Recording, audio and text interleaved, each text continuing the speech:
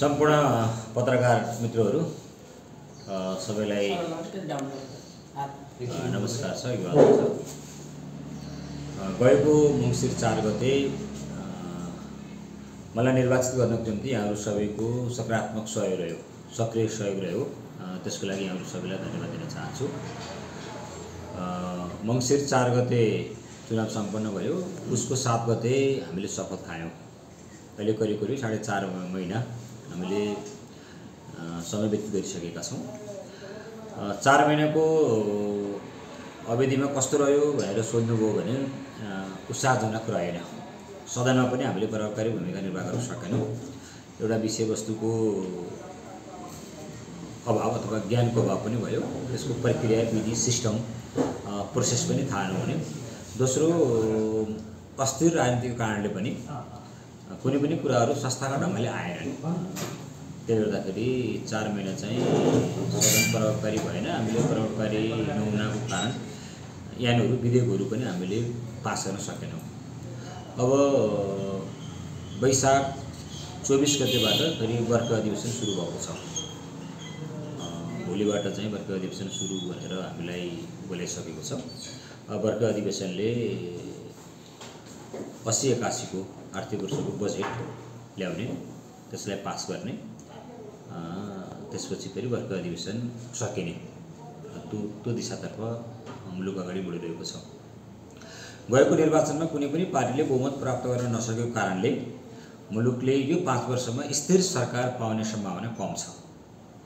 मुलुकले स्थिर सरकार पाउन सकेन भने संसदीय राजनीति मर्यादित हुने अवस्था पनि देखिँदैन। सबै दाउपेचमा मुलुकको राष्ट्रिय अगाडि बढ्छ कि भने त्यो खतरा देखा परिरहेको छ। त्यही पनि राष्ट्रिय स्तरका नेताहरूले मुलुकलाई अगाडि बढाउनको निम्ति के कति प्रतन्न गर्नुहुन्छ हेर्न बाँकी नै छ। म निर्वाचित भएर गइसकेपछि दुई तिनवटा कुराहरू मैले उठाउन उठाइरहेको छु र त्यसलाई अझ प्रभावकारी ढङ्गले लागू गर्नको निम्ति मैले सदन र सडक र सामाजिक सञ्जाल र मिडियाहरूमा आफ्ना भनाइहरू राखिरहेको छु। पहिलो कुरा हाम्रो बाँकेको मूल समस्या भनेको राप्ती नदी डुडुवा र मानखोलाको तटबन्ध नै प्रमुख समस्या रहेछ। अहिले सबैभन्दा बढी प्रेसर जनप्रतिनिधिलाई के छ भन्दा ती नदीहरूको तटबन्धन गरिदिने कुराको ठुलो प्रेसर छ। त्यस कारणले यसपटक हामीले बाँके जिल्लाबाट गएका हामी छजना सङ्घीय माननीयहरू छौँ। तिनजना प्रत्यक्ष तिनजना समानुपातिक हामी छजनाले हस्ताक्षर गरेर राप्ती नदी डुडुवा र मानखोलाको चाहिँ समुच्च त्यसलाई त्यसको दीर्घकालीन समाधान गर्नको निम्ति एउटा कुनै संरचना बनाउने त्यो संरचनामा पैसा हाल्ने अनि जहाँ समस्या पर्छ त्यसलाई समाधान गर्ने गरी जानुपर्छ भनेर हामी त्यो कुरा उठाएका छौँ। पहिलो। दोस्रो कोलपुर खडकवार हुँदै भुइँबारी जाने बाटोलाई पनि हामी छजनाले हस्ताक्षर गरेका छौँ। कोलपुर क्रिकेट मैदान कोलपुर बाल अस्पताल अनि गावर पर्यटकीय क्षेत्र। नौबस्ता औद्योगिक क्षेत्र अनि खजुरा क्यान्सर अस्पताल खजुरा लुम्बिनी प्रादेशिक विश्वविद्यालय नेपालगञ्ज भेरी अस्पताल त्यसलाई मेडिकल कलेजको रूपमा रूपान्तरण गर्ने र राजा एयरपोर्ट त्यसलाई चाहिँ क्षेत्रीय स्तरको एयरपोर्ट बनाउनको निम्ति हामी छजना माननीयहरूले तेह्रवटा मुद्दामा साझा मुद्दाहरूमा सामूहिक रूपमा हामीले हस्ताक्षर गरेका छौँ। किनकि हामी बाँके जिल्लाबाट गएका हामी सङ्घीय माननीयहरू कोही पनि अहिले मन्त्री बनिरहेको छैनौँ। त्यस कारणले जो मन्त्री भयो भने पनि पहल गर्ने जो सत्ता पक्षमा भयो भने पनि पहल गर्ने जो प्रतिपक्षमा भयो भने पहल गर्ने यी मुद्दामा चाहिँ हामी जहाँ उभिए पनि संयुक्त रूपमा अगाडि बढ्ने भनेर हामीले त्यो काम गरेका छौँ। यो मलाई लाग्छ अडचालिस सालदेखि अहिलेसम्म हामीले गरेको एउटा राम्रो काम यो हो भन्ने मलाई लाग्छ। दोस्रो बाँकी क्षेत्र नम्बर एक बाँके राष्ट्रिय निकुञ्जसँग जोडिएको क्षेत्र हो अधिकांश भूभाग। अब राष्ट्रिय निकुञ्जसँग जोडिएको मध्यवर्ती क्षेत्रले अहिले हामीले समस्या बनाइरहेको छ। भूमि आयोगले जग्गा नापिरहेको छ वन विभागले चाहिँ जग्गा ननाप्ने भनेर चिठी पठाइदिएको छ। होइन?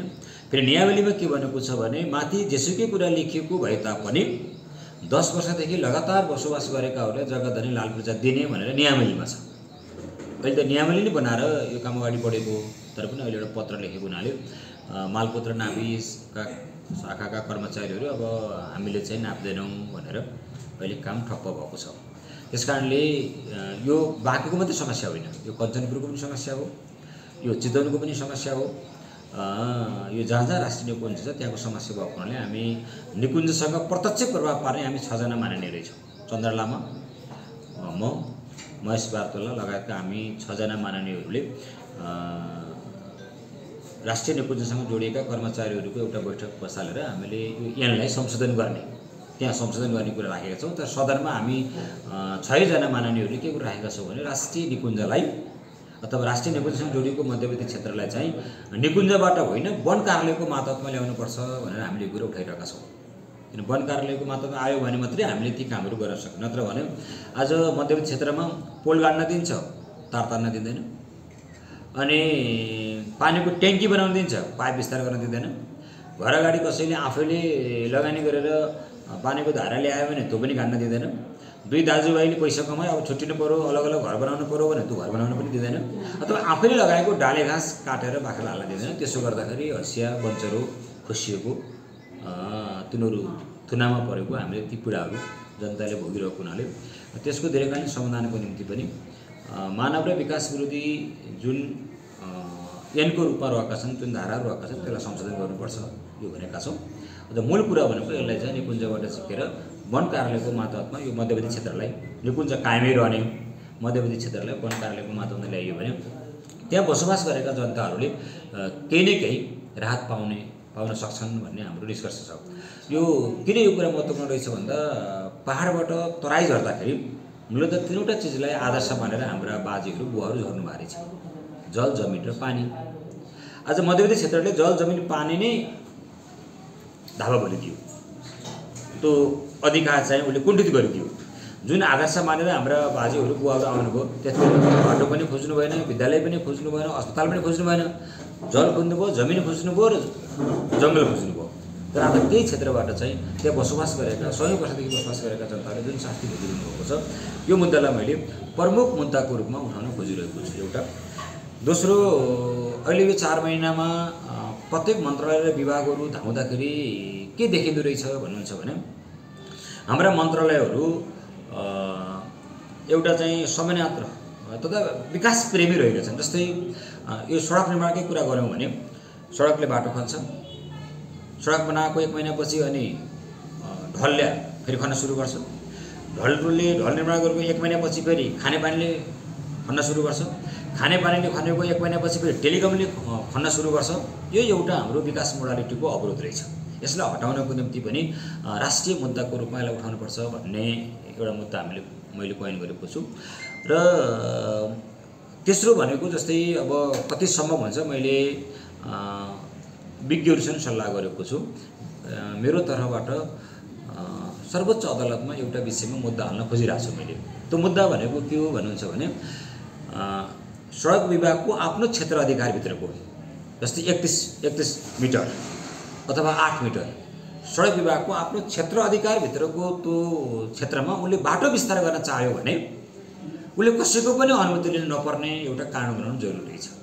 यो यो मैले यो कुरा कहाँबाट मलाई चाहिँ प्रेसर गरिरहेको छ भन्दा सडक विभागले के भनिदिएको छ भने यो कोलपुर चौडादेखि रोहिनीगारे हाम्रो चक्ररोडको पुलसम्मको त्यो बाटो चाहिँ रुख हटाइदिनुहोस्। ती बकाइनाको रुख खाली गरिदिनुहोस्। त्यो बाटो फोर लाइन बनाउनुको निम्ति म पैसा हालिदिन्छु पैसा हामीसँग छ भन्छ। अब आवश्यकता पनि छ तपाईँहरू पनि देख्नु भएको छ। कोलपुर चौडादेखि पुलसम्मको त्यो बाटो फोर लाइन बनाउँदाखेरि चक्रवडी बजारसँग जोडिने कोलपुरसँग जोडिने कोलपुरको सुन्दरता पनि कायम हुने तर त्यहाँ भएका चाहिँ अ, बकाइनाका रुखहरू हटाउन नसक्नको कारणले त्यहाँ सडक विभागले पैसा हाल्छु भन्दा भन्दै पनि हामीले बनाउन सकिरहेका छैनौँ। अब सबै सक्छ सडक विभागले रुख हटाउन सक्दैन। अनि त्यो रुख काट्नको निम्ति विभागमा गयो। यो काममा म चाहिँ हस्ताक्षर गरिदिने भन्छ सचिवले। किनभने यो सिग्नेचर गर्ने बित्तिकै म अख्तियारमा धाउनुपर्छ। अब म अख्तियारमा किन धाउने?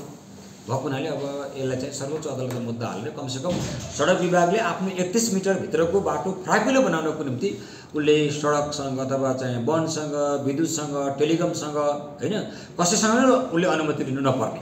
गरी एउटा कानुन बनाउन सकियो भने त्यो कानुन कसरी बनाउन सकिएको रहेछ भन्दा सर्वोच्च अदालतले स्टे जारी गरिदियो भने मात्रै सकिँदो रहेछ। नत्र भने सबै मन्त्रालयहरू विभागहरू त्यो जम्मा गरेर तिनका सबै संशोधन गर्दा गर्दै माननीयको पनि अवधि सकिने त्यो सचिवको त्यो जसले त्यो काम मुद्दाको कमान्ड गर्छ त्यसको अवधि नै सकिने त्यस्तो अवस्था रहेछ।